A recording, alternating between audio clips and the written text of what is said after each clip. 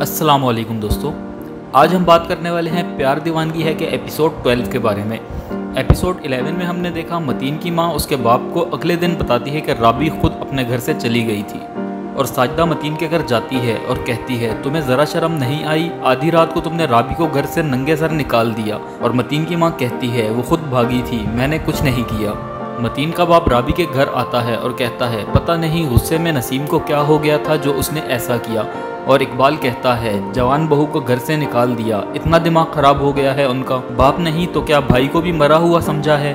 और अब जो बात होगी, मतीन के बाहर आने पे ही होगी। लावारिस नहीं है ये। और मतीन की माँ हरगिज ये मानने को तैयार नहीं होती कि उसने राबी को घर से निकाला था। और राबी कहती है, मुझे घर जाना है। और उसकी माँ उसे कहती है, इकबाल ने किसी वजह से रोका है तुम्हें। अगर मतीन को बिना बताए तुम्हें बेच दिया तो सारी ज़िंदगी तुम नसीम से जूतियाँ खाती रहोगी। और मतीन की माँ राबी का सामान राबी के घर लाकर देती है और कहती है, बहुत प्यारी है तुम्हें तुम्हारी बेटी, ये लो, उसका सामान भी रखो और अब बेचने की ज़रूरत नहीं। और राबी इकबाल से कहती है, मुझे पता है मतीन बेकसूर है, वो कभी भी चोरी नहीं कर सकता। कुछ भी करके उसे जेल से बाहर निकालें। और दाऊद और इकबाल जाकर बात करके मतीन को हवालात से बाहर निकलवाते हैं और मतीन घर आकर पूछता है राबी कहाँ है? और उसकी माँ कहती है, वो खुद घर से चली गई है और इल्ज़ाम लगा रही है कि मैंने उसे घर से निकाला है। और कहती है, तुम उसे तलाक दो और जान छुड़वाओ उससे। और मतीन कहता है, तलाक तो मैं उसे कभी भी नहीं दूँगा। दोस्तों एपिसोड 12 में देखा जा सकता है कि राबी की माँ कहती है, जिसकी दो बेटियाँ घर आके बैठ जाएँ, उसे मौत तो आ सकती है, लेकिन नींद नहीं। इससे पता चलता है कि मतीन राबी को लेने नहीं आएगा। और दिखाया जाता है, मतीन की माँ मतीन से कहती है, साइमा, कैसे मोहल्ले में शोर मचा रही है कि मतीन के बाप की दुकान पे चोरी की है, इसलिए बेटी को घर ले आए हैं? इससे पता चलता है कि वो ऐसे झूठे इल्ज़ाम लगाकर मतीन के दिल में राबी के खिलाफ मजीद नफरत भर देगी। और दाऊद राबी से कहता है, काश मैं तुम्हारे लिए कुछ कर सकता हूँ। इससे पता चलता है कि दाऊद और राबी की बातचीत फिर से शुरू हो जाएगी और दिखाया जाता है, साजदा कहती है, तुम्हारी शादीशुदा बेटी मेरे बेटे पर डोरे डाल रही है।